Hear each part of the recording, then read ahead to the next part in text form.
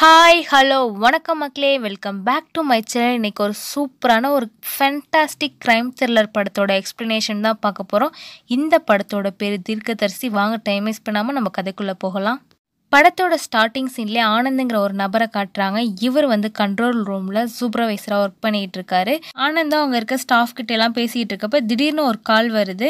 அந்த காலில் இருந்து பேசுகிற ஒரு நபர் பரபரப்பாக பேசுகிறாரு சார் நான் ஒரு முக்கியமான விஷயம் சொல்கிறேன் கேளுங்க. உங்கள் வழக்கமான கொஸ்டினை கேட்டு டயத்தை வேஸ்ட் பண்ணாதீங்கன்னு சொல்கிறாரு இப்போ ஃபோன் பேசுகிறாரு இல்லையா? இந்த நபரோட பேர் தாங்க தீர்க்கதரிசி. ஸோ தீர்க்கதரிசி என்ன சொல்கிறாருன்னு பார்த்தீங்கன்னா சார் அடையாறில் ஆள் நடமாட்டமே இல்லாத ஒரு பங்களார் வீட்டுக்குள்ளே ஒரு லேடி சாக போகிறாங்க சார் முடிஞ்சால் சீக்கிரம் போய் அவங்கள காப்பாற்றுங்கன்னு சொல்லிட்டு டக்குன்னு ஃபோனை கட் பண்ணிடுறாரு. ஸோ நம்ம ஆனந்த் என்ன நினைக்கிறாருன்னு பார்த்தீங்கன்னா இந்த மாதிரி ப்ராங்க் கால் அடிக்கடி வர்றது சாதாரண விஷயந்தான் மேபி இதுவுமே ப்ராங்க் காலாக தான் இருக்குன்னு சொல்லிட்டு சீரியஸாக எடுத்துக்கல. ஆனால் அந்த தீர்க்கதரிசி சொன்ன மாதிரியே அடையாறில் தனியாக இருக்க பங்களா வீட்டுக்குள்ளே இருக்க ஒரு லேடியை காட்டுறாங்க. அந்த லேடியோட வீட்டில் காலிங் பெல் அடிக்குது. சரின்னு அவங்களும் போய் ஓப்பன் பண்ணி பார்த்தா அந்த வீட்டோட வாட்ச்மேன் இந்த மாதிரி என் ஒய்ஃபுக்கு உடம்பு சரியில்லை மேடம் நான் உடனே போகணும். எனக்கு பர்மிஷன் கொடுங்கன்னு சொல்கிறாங்க சரின்னு இந்த லேடிக்கோ வேறு வழி இல்லை. ஒய்ஃபுக்கு உடம்பு சரியில்லைன்னு சொல்கிறனால சரி போப்பான்னு சொல்லி அனுப்பிடுறாங்க. இப்போ இவங்க வீட்டில் தனியாக தான் இருக்காங்க.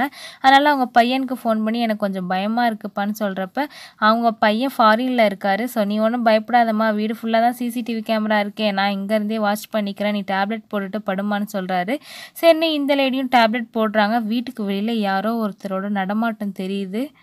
அப்படியே இந்த லேடியோட சீனை கட் பண்ணிவிட்டு மறுபடியும் ஆனந்த காட்டுறாங்க. ஆனந்த் வந்து அவங்க வீட்டில் காலைல சாப்பிட்டுக்கிட்டு இருக்காரு. டியூட்டிக்கு போகிறதுக்காக திடீர்னு பார்த்தா நியூஸில் ஏதோ ஓடுது. ஆனந்தோ சாப்பிட்றத விட்டுட்டு நியூஸை உன்னிப்பாக கவனிக்கிறாரு. நேற்று தீர்க்கதரிசின்னு ஒரு நபர் ஃபோன் பண்ணி அடையாறில் தனியாக இருக்க ஒரு வீட்டில் ஒரு லேடி சாக போகிறாங்க காப்பாத்துங்கன்னு சொன்னார் இல்லையா? அதே மாதிரி நியூஸில் போடுறாங்க அடையாறில் இருக்க ஒரு தனியார் பங்களாவில் ஒரு லேடி இறந்து கிடக்காங்கன்னு சொல்லிட்டு போட்டோன்னே இவருக்கு பக்குன்னு ஆயிடுது. வேக வேகமாக ஆஃபீஸ்க்கு போகிறாரு இந்த நியூஸை கேள்விப்பட்ட போலீஸ் ஆஃபீஸர்ஸும் இங்கே வந்துடுறாங்க. என்ன நேற்று ஏன் நீங்கள் இதை இன்ஃபார்ம் பண்ணல? கண்ட்ரோல் ரூமுக்கு ஒருத்தர் ஃபோன் பண்ணி பேசியிருக்காரு தானே? ஏன் இதை எங்களுக்கு இன்ஃபார்ம் பண்ணலன்னு சொல்கிறப்ப ஆனந்தம் இல்லை சார் இது மாதிரி ப்ராங்க் கால் எங்களுக்கு நிறையா வரும். அதனால் இதுவுமே ப்ராங்க் கால்னு நினச்சி இன்ஃபார்ம் பண்ணாமல் விட்டுட்டோம். சாரி சார்னு சொல்கிறாங்க சரி அந்த நபர் பேசின ரெக்கார்டை காட்டுங்கன்னு சொல்லிட்டு அந்த ரெக்கார்டை மறுபடியும் இந்த போலீஸ் ஆஃபீஸர்ஸ் ரெண்டு பேரும் போட்டு கேட்குறாங்க இந்த நபர் ஃபோன் பேசிக்கிட்டு இருக்கப்போ அவரோட லொக்கேஷனை நோட் பண்ணிங்களா? அவரோட லொக்கேஷன் எங்கே இருந்துச்சு? இந்த நம்பரோட டீட்டெயிலெலாம் செக் பண்ணுங்கள் சிம் யார் பேரில் இருக்குன்னு பாருங்கன்னு சொல்லிட்டு இவங்களோட ப்ரொசீஜர் எல்லாத்தையும் நார்மலாக பண்ணிகிட்டு இருக்காங்க. இப்படி போலீஸ் ஆஃபீஸர்ஸ் ஆனந்த் எல்லாருமே பரபரப்பாக ஒர்க் பண்ணிகிட்டு இருக்கப்ப மறுபடியும் தீர்க்கதரிசிக்கிட்டேருந்து கால் வருது. எல்லாரும் ஒரு நிமிஷம் பக்குன்னு ஆயிடுது என்னடா அப்படின்னு சொல்லிட்டு இன்றைக்கி என்ன ஃபோன் பண்ணி சொல்கிறாருன்னு பார்த்தீங்கன்னா சார் உங்களோட வழக்கமான கேள்விகளை கேட்டு என் நேரத்தை வீணாக்காதீங்க. இன்றைக்கி ஒருத்தர் சாக போகிறாரு அதாவது ஒரு லாரியும் காரும் நேருக்கு நேர் மோத போகுது. அதில் இதில் காரில் வந்த நபர் ஸ்பாட்லேயே இறக்க போகிறாரு எனக்கு இந்த விஷுவல் தோணுச்சு. இதை நீங்கள் விளையாட்டாக எடுத்துக்காதீங்க. சீரியஸாக தான் சொல்கிறேன் முடிஞ்சால் அந்த உயிரை காப்பாற்றுங்கன்னு சொல்லிட்டு தீர்க்கதரிசி ஃபோன் கட் பண்ணிடுறாரு. தீர்க்கதரிசி சொன்ன மாதிரியே ஆக்சிடெண்ட்டும் நடக்குது. காரில் இருக்க நபர் உயிருக்கு போராடிட்டு இருக்காரு. அதனால் ஆம்புலன்ஸில் ஏற்றி ஹாஸ்பிட்டலுக்கு அனுப்பிடுறாங்க. ஆனால் ஹாஸ்பிட்டலுக்கு போகிற வழியிலே அந்த காரில் இருக்க நபர் இறந்து போயிடுறாரு. ஸோ தீர்க்கதரிசி சொன்னது இந்த தடவையும் நடந்துருச்சு. எப்படி இங்கே ஆக்சிடெண்ட் ஆணுச்சுன்னு வெரிஃபை பண்ணி பார்த்தா ரெண்டு இடத்துலையும் ஒரே நேரத்தில் க்ரீன் சிக்னல் விழுந்தனால தான் இந்த ஆக்சிடெண்ட் விழுந்திருக்குன்னு தெரிய வருது. ஸோ இப்போ இந்த கேஸும் ரொம்ப பெரிய கேஸாக மாறிடுது. நியூஸ் மீடியாவுக்கு எல்லாத்துலேயும் பரபரப்பாக பேசுகிறாங்க யாரோ ஒரு நபர் நடக்க போகிறத முன்னாடியே சொல்கிறாரு அது அப்படியே நடக்குதுன்னு சொல்லிட்டு ரொம்ப பெரிய இஷ்யூவாக மாறினனால ஐஜி என்ன பண்ணுறாரு இந்த கேஸை விசாரிக்க இன்னொரு ஒரு டேலண்டடான போலீஸ் ஆஃபீஸர் அனுப்புகிறாரு ஸோ அவர் வேறு யாரும் இல்லைங்க. இவர் தாங்க நம்ம படத்தோட ஹீரோ ஸோ நம்ம ஹீரோ வந்து ஆல்ரெடி இந்த கேஸை விசாரிச்சுக்கிட்டு இருந்த அந்த ரெண்டு போலீஸ் ஆஃபீஸர்கிட்டையும் என்னென்ன டீட்டெயிலெலாம் கலெக்ட் பண்ணியிருக்கீங்கன்னு சொல்லிட்டு எல்லாத்தையும் கேட்டு தெரிஞ்சுக்கிறாரு. விக்டிம் ஒன் இறந்து போனாங்க இல்லையா? பூட்டிய வீட்டில் அடையாரில். ஸோ அந்த வீட்டுக்கு போய் செக் பண்ணிகிட்டு இருக்காங்க. ஏதாவது ஃபிங்கர் பிரிண்ட் கிடைக்குதா? யாராவது வந்து தடயம் இருக்குதான்னு சொல்லிட்டு. ஆனால் எந்த ஃபிங்கர் பிரிண்ட்டுமே கிடைக்கல. யாரும் வீட்டுக்கு வந்த மாதிரியும் தெரில வீடும் பூட்டிய நிலமையில் இருக்குது பாடியை கண்டுபிடிச்சி சொன்னது கூட அந்த வீட்டுக்கு வேலை பார்க்க வந்த வேலைக்கார அம்மா தான் காலிங் பெல் அடித்து அடித்து பார்த்து கதவை திறக்காதனால ஜன்னல் வழியாக பார்த்துருப்பாங்க. ஸோ இப்படி தான் அவங்க இறந்து போனதே தெரிஞ்சிருக்கும். போலீஸ் ஆஃபீஸருக்கு இது வரைக்கும் எந்த க்ளூவும் கிடைக்கல. தீர்க்கதரிசி யாருன்னு அவங்களால கண்டுபிடிக்க முடியல. ஏன்னா தீர்க்கதரிசி பேசுகிற ஃபோன் நம்பர் வந்து ஆல்ரெடி இறந்து போனவர் ஒரு நபரோட பேரில் இருக்குது அது மட்டும் இல்லாமல் அவர் தீர்க்கதரிசி ஃபோன் பேசுகிறப்ப அவரோட லொக்கேஷனை ட்ராக் பண்ண பார்த்தாலுமே செகண்டுக்கு செகண்ட் வேறு வேறு பிளேஸ் லொக்கேஷன் மாறிக்கிட்டே இருக்குது ஸோ அதனால் தீர்க்கதரிசி மேலேயும் போலீஸ் ஆஃபீஸருக்கு சந்தேகம் வருது. நம்மளுக்கு ஃபோன் பண்ணி இன்ஃபார்ம் பண்ணுற மாதிரி இன்ஃபார்ம் பண்ணிவிட்டு ஒருவேளை இவரே கொலை பண்ணுறாரோன்னு சொல்லிட்டு இப்படி இவங்க யோசிச்சுட்டு இருக்கப்போ தீர்க்கதரிசிக்கிட்டேருந்து மறுபடியும் கால் வருது. இந்த தடவை என்ன சொல்கிறாருன்னு பார்த்தீங்கன்னா சார் சென்னையில் இருக்க ஒரு தனியார் வங்கியில் மக்களோட பணம் எல்லாம் கொள்ளை போக போகுது. அதனால் அந்த பேங்க்கில் இன்வெஸ்ட் பண்ண எல்லாருமே வந்து அந்த பேங்கோட மேனேஜர்கிட்ட சண்டை போட போகிறாங்க இதனால் அந்த பேங்க் மேனேஜர் தற்கொலை பண்ணி இறந்துக்க போ இறக்க போகிறாரு அதனால் சீக்கிரம் காப்பாற்றுங்கன்னு சொல்கிறாரு தீர்க்கதரிசி சொன்ன மாதிரி இந்த இன்சிடெண்ட்டுமே அப்படியே நடந்துருது. போலீஸ் ஆஃபீஸர்ஸால் இந்த பேங்க் எங்கே இருக்குன்னு கண்டுபிடிக்கிறதுக்குள்ளே இந்த இன்சிடெண்ட் நடந்துறதுனால எதையுமே தடுக்க முடியல. அப்படியே சீனை கட் பண்ணால் ஹீரோ இப்போ ஒரு சைக்கார்டிஸ்ட்டை மீட் பண்ண தான் வந்திருக்காரு. ஸோ இந்த மாதிரி ஒரு நபர் ஃபோன் அடித்து நடக்க போகிறதெல்லாம் முன்கூட்டியே சொல்கிறாரு சார் எனக்கு என்னமோ இதில் சந்தேகமாக இருக்குது உங்கள் கருத்து என்னன்னு சொல்லி கேட்குறாரு அதுக்கு இந்த டாக்டராக என்ன சொல்கிறாருன்னா இந்த உலகத்தில் நிறைய புதிர்கள் இருக்குது எல்லாத்தையும் கண்டுபிடிக்க முடியாது. எல்லாத்துக்கும் விடை கிடைக்காது. நான் வேணால் அந்த நபர் பேசுகிறத ஒரு நாள் வந்து கேட்குறேன் அவர்கிட்ட நான் பேசியும் பார்க்குறேன் அவருக்கு ஏதாவது மன ரீதியான பிரச்சனை இருக்கா அப்படின்னு சொல்லிட்டுன்னு சொல்கிறாரு அதே மாதிரி மறுபடியும் தீர்க்கதரிசிக்கிட்டேருந்து கால் வருது. இந்த காலையும் ரெக்கார்ட் பண்ணுறாங்க ட்ரேஸ் பண்ண பார்க்குறாங்க ஒன்றுமே முடியல. இந்த தடவை தீர்க்கதரிசி என்ன சொல்கிறாருன்னு பார்த்தீங்கன்னா சென்னையில் இருக்க ஒரு அடுக்குமாடி குடியிருப்பில் இருக்க ஒரு வீட்டில் கேஸ் லீக் ஆகி வெடித்து ஒரு லேடி இறக்க போகிறாங்க சீக்கிரம் காப்பாற்றுங்கன்னு சொல்லிட்டு ஃபோனை வச்சிடுறாரு. அதே மாதிரி ஒரு அப்பார்ட்மெண்ட்டில் ஒரு லேடியை காட்டுறாங்க. அவங்க எங்கேயோ ஷாப்பிங் போயிட்டு இப்போ தான் இவங்க உள்ளே நுழையிறாங்க. பார்க்கிங் லாட்டில் இந்த லேடியை ஃபாலோ பண்ணிவிட்டு யாரோ வர மாதிரி நமக்கு காட்டுறாங்க. இந்த லேடி லிஃப்ட்டில் ஏறி வீட்டுக்கு வராங்க. ஆல்ரெடி எல்லா அப்பார்ட்மெண்ட்டில் இருக்கவங்களையும் நம்ம தனித்தனியாக போய் செக் பண்ணி இன்ஃபார்ம் பண்ண முடியாதுன்னு சொல்லிட்டு போலீஸ் டீம் என்ன பண்ணியிருப்பாங்க மீடியாலே இன்ஃபார்ம் பண்ணியிருப்பாங்க இந்த மாதிரி தீர்க்கதரிசி இந்த தடவை இதை சொல்லியிருக்காரு. ஸோ அப்பார்ட்மெண்ட்டில் இருக்க மக்கள் எல்லாம் உங்களோட கேஸ் லைனை செக் பண்ணி வச்சுக்கோங்கன்னு சொல்லி இன்ஃபார்ம் பண்ணியிருப்பாங்க இதை இந்த லேடியுமே கவனிச்சிருப்பாங்க. அதனால் வீட்டுக்கு வந்தோடனே எந்த சுவிட்சையும் போடாமல் நிறைய கிச்சனுக்கு போய் எதுவும் கேஸ்க்கு எதுவும் லீக் ஆகுதான்னு சொல்லி செக் பண்ணிகிட்டு இருக்கப்போ திடீர்னு டமால்னு ஒரு சவுண்டு என்னன்னு பார்த்தீங்கன்னா பார்க்கிங் லாட்டில் இருக்க ஒரு கார்லேருந்து கேஸ் லீக் ஆகி கார் வெடிச்சிருக்கு. காருக்குள்ளே ஏறின லேடி கருகி இறந்து போயிருக்காங்க. ஸோ இந்த தடவையும் தீர்க்கதரிசி சொன்னது நடந்துருச்சு. இப்படியே சீனை கட் பண்ணால் நம்ம ஆனந்தை காட்டுறாங்க. ஆனந்துக்கு தீர்க்கதரிசி மேலே பயங்கர டவுட்டு.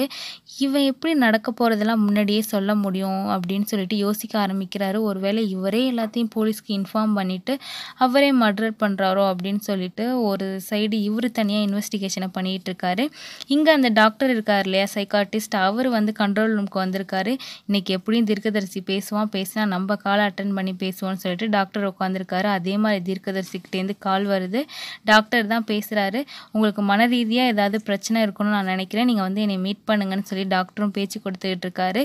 இங்கே போலீஸ் ஆஃபீஸர்ஸும் நம்ம தீர்க்கதரிசியோட நம்பரை ட்ரேஸ் பண்ண பார்க்குறாங்க ஆனால் லொக்கேஷன் மாறி மாறிக்கிட்டே இருக்குது டாக்டரும் தீர்க்கதரிசிக்கிட்ட பேச்சு கொடுக்குறாரு. உங்களுக்கு நிறைய விஷுவல் தோணுதுன்னு சொல்கிறீங்களே அது எப்போயிலேருந்து ஆரம்பிச்சிச்சின்னு கேட்குறப்ப நான் ஒரு நாள் எங்கேயோ போயிட்டு இருந்தேன் அப்போ எனக்கு பயங்கரமான ஒரு ஆக்சிடெண்ட் அதில் மண்டையில் பலமாக அடிபட்டுருச்சு அதுக்கப்புறமா தான் எனக்கு இந்த மாதிரி விஷுவல்லாம் தோண ஆரம்பிச்சிச்சு. எனக்கு ஃபஸ்ட்டு ஒரு விஷுவல் வந்து ஒரு பையன் வந்து ட்ரெயினில் அடிபட்டு சாகிற மாதிரி தோணுச்சு. நான் யதார்த்தமாக ஒரு சின்ன கனவுன்னு நினச்சேன். ஆனால் எனக்கு கனவுல தோணுன மாதிரியே அடுத்த நாள் நிஜமாக நடந்துச்சு. ஸோ அதுக்கப்புறம் தான் நம்மளுக்கு தோன்றதெல்லாம் நடக்குதுங்கிறதே எனக்கு தெரிய வந்தது. அதனால தான் அடுத்த அடுத்தடுத்து எனக்கு தோன்ற எல்லாத்தையுமே நான் கண்ட்ரோல் ரூமுக்கு ஃபோன் பண்ணி இன்ஃபார்ம் பண்ணிகிட்டு இருக்கேன்னு சொல்லிட்டு தீர்க்கதரிசி டாக்டர்கிட்ட பேசுகிறாரு டாக்டருமே நீங்கள் என்கிட்ட ட்ரீட்மெண்ட்டுக்கு வாங்க நான் உங்களுக்கு இந்த மாதிரி விஷுவல் தோணாமல் நான் உங்களை சரிப்படுத்துகிறேன் குணப்படுத்துகிறேன்னு சொல்கிறாரு இருந்தாலும் தீர்க்கதரிசி இதுக்கு ஒத்துக்கிற மாதிரியே இல்லை. நான் இப்போ உங்களை மீட் பண்ண வந்தேன்னா இப்போ நடந்த எல்லா இன்சிடெண்ட்டுக்கும் நான் தான் காரணம்னு சொல்லிட்டு என்னை குற்றவாளியாக்கவும் சான்ஸ் இருக்குது அதனால தான் நான் என் பேரை கூட சொல்லாமல் தீர்க்கதரிசின்னு சொல்லிட்டு நான் உங்களுக்கு இந்த இன்ஃபர்மேஷன்லாம் சொல்கிறேன்னு சொல்கிறாரு தீர்க்கதரிசி. அதோட மட்டும் நிற்காமல் இனிமே இனிமேல் என்னால் இந்த பிரச்சனையோட இந்த உலகத்துலேயும் வாழ முடியாது. அதனால் நான் இப்போயே சூசைட் பண்ணி இறக்குறேன். இதையே நான் உங்கள்கிட்ட சொல்கிறேன்னு பார்த்தீங்கன்னா அடுத்து என் பேரை வச்சுக்கிட்டு என்ன மாதிரியே யாராவது மிமிக்ரி பண்ணி உங்கள்கிட்ட நான் தான் தீர்க்கதரிசி இதுதான் நடக்க போகுதுன்னு சொல்லிட்டு யாராவது என் பேரை வச்சு மிஸ்பிஹேவ் பண்ணவும் சான்ஸ் இருக்குது அதனால தான் நான் சூசைட் பண்ணி இப்போ இறக்க போகிறேன்னு சொல்கிறதையும் நான் உங்கள்கிட்ட சொல்கிறேன்னு சொல்லி பேசிக்கிட்டு இருக்கப்ப கன்னை வச்சு ஷூட் பண்ணிக்கிற மாதிரியான ஒரு சவுண்டை காட்டி அப்படியே அந்த விஷுவலை முடிக்கிறாங்க அந்த ஆடியோவை ஸோ இதெல்லாம் கேட்ட போலீஸ் ஆஃபீஸர் மற்ற எல்லாருமே தீர்க்கதரிசி இறந்துட்டாருன்னு தான் நினைக்கிறாங்க. ஆனால் ஆனந்த் மட்டும் இது ஒரு கேம் அவன் இறக்கல நம்மள்ட்ட ஏமாத்துறான் அவன் இன்னும் தீர்த்து முடிக்க வேண்டிய ஒரு ஆள். இந்த ஒரு நபரை கொன்னாதான் தீர்க்கதரிசியோட திட்டம் ஃபுல்லாக முடிவடையும்னு சொல்லிட்டு ஆனந்த் பேசவும் எல்லாருக்கும் பயங்கர ஷாக்கு நீங்கள் எப்படி இதை கண்டுபிடிச்சிங்க? எதை வச்சு இதை சொல்கிறீங்கன்னு சொல்லிட்டு ஹீரோலாம் கேட்குறாரு அதுக்கு ஆனந்த் இப்போ தாங்க ஒன்று தெளிவாக சொல்கிறாரு நம்ம சைக்காட்டிஸ்ட் டாக்டர் பேசினார் இல்லையா? அப்போ எனக்கு ஃபஸ்ட்டு ஃபஸ்ட்டு ஒரு விஷுவல் தோணுச்சு. ஒரு பையன் அடிபட்டு இறந்த மாதிரின்னு சொன்னார் இல்லையா? அந்த பையன் இறந்த டேட்டையும் நம்ம தீர்க்கதரிசி சொல்லியிருப்பாரு. ஸோ அந்த டேட்டில் இறந்து போன பையன் யாருன்னு சொல்லி ஆனந்த் ரிசர்ச் பண்ணி பண்ணியிருப்பார். ஸோ அப்போ தான் இந்த டீட்டெயில் எல்லாமே தெரிஞ்சிருக்கும். ஆக்சுவலி இறந்து போன பையன் இருக்கான் இல்லையா? அவன் வந்து ஒரு பொண்ணை லவ் பண்ணி கல்யாணம் பண்ணியிருப்பான். பொண்ணு வீட்டில் பயங்கர எதிர்ப்பு. அதனால் பொண்ணோட ரிலேட்டிவ்ஸான பொண்ணோட அப்பா அத்தை மாமான்னு சொல்லிட்டு எல்லாரும் மாப்பிள்ளையை கடத்திட்டு வந்துடுறாங்க. அதாவது அந்த பையனை கடத்திட்டு வந்து மிரட்டிக்கிட்டு இருக்காங்க. என் பொண்ணை விட்டுரு. நீ கழட்டின தாலியை கழட்டிட்டு அவளை விட்டுருன்னு சொல்லிட்டு. ஆனால் அந்த பையனை விடவே முடியாதுன்னு சொல்லி தெளிவாக இருக்கான். அந்த இடத்துக்கு நம்ம ஹீரோவான போலீஸ் ஆஃபீஸர்ஸுமே வராரு. அவருமே பொண்ணுக்கு சொந்தக்காரர் தான் நினைக்கிறேன்.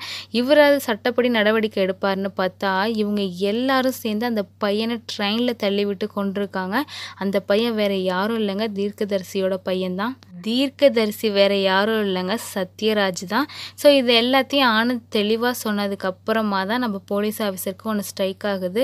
நம்மளும் இந்த பிரச்சனையில் இன்வால்வ் ஆகிருக்கோம் நம்ம ஒருத்தரை தான் இன்னும் கொல்லாமல் விட்டு வச்சிருக்கான்னு சொல்லிட்டு நம்ம ஹீரோக்கு தெரிய வருது.